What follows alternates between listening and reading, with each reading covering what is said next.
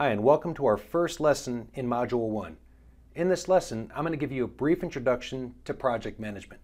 And we're going to start with this introduction because, quite simply, everything we do with building our schedule is going to be based on project management. So we've got to understand some critical processes that our team needs to implement if we're going to build out the framework of the project to schedule it. So let's jump into the content.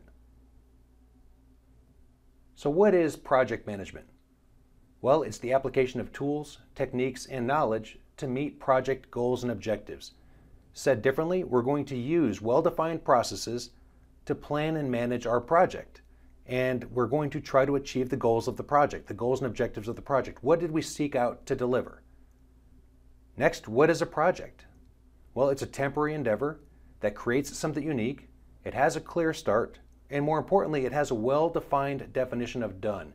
We all have to understand what done is. The team all has to come together and agree upon this definition of done. If we don't know what done is, then how will we ever know if the project is finished? We all have to understand and agree upon what done is. And then we're going to schedule the project to go from the start to that definition of done. So the schedule is going to be all of the work required to get from the start to that agreed upon definition of done. Now, our projects have goals. There's cost goals, schedule goals, performance scope goals, quality goals, and they're all interdependent on each other. If I want my product to go faster, it's probably going to cost me more money. If I want to save some time in the schedule, I may have to reduce performance or scope, or I may have to increase cost.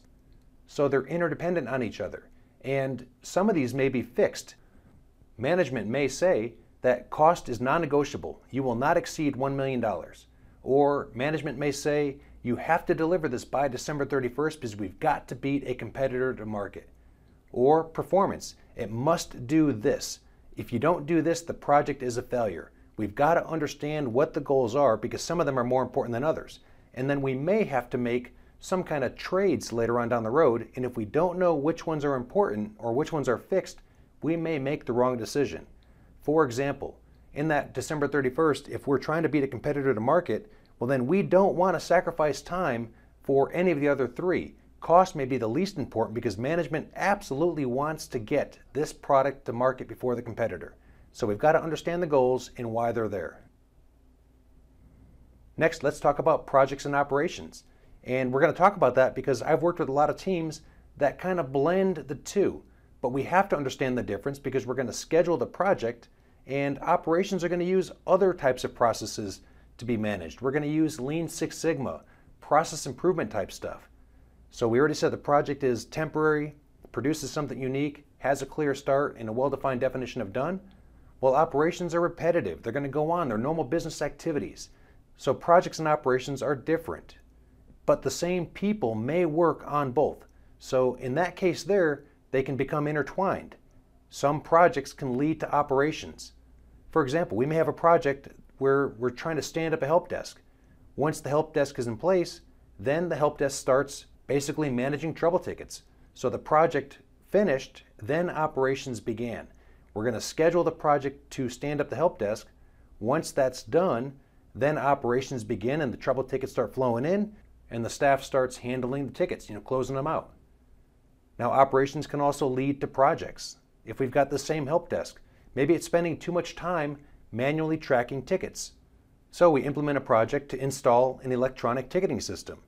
The project starts, it installs the system, and then the project is finished and operations begin again, but now they're using the electronic ticketing system rather than doing it manually. So the operation led to the project and then the project finishes. So they're intertwined. We've got to understand the difference between the two. We're going to schedule the project, not the operation. So define that start to finish, that unique product or service, and that's what we're going to schedule.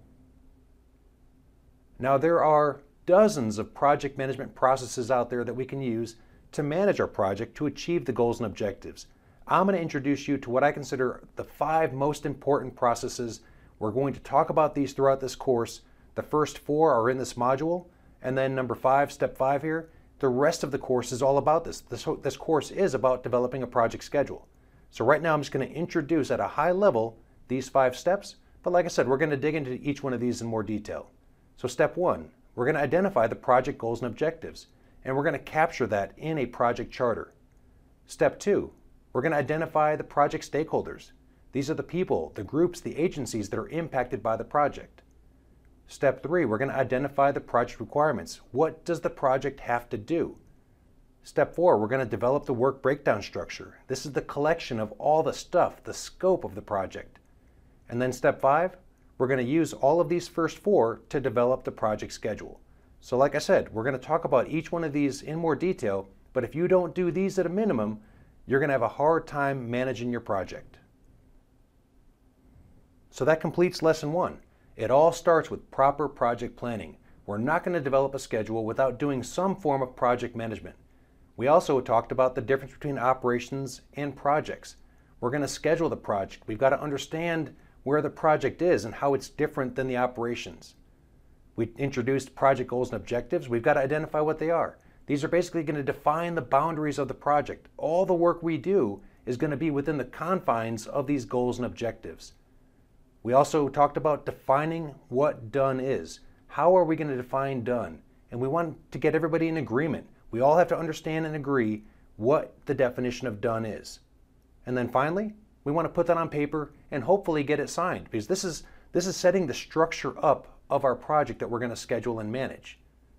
So that completes lesson one. You're ready to jump into lesson two where we're going to give you a brief introduction about the project schedule.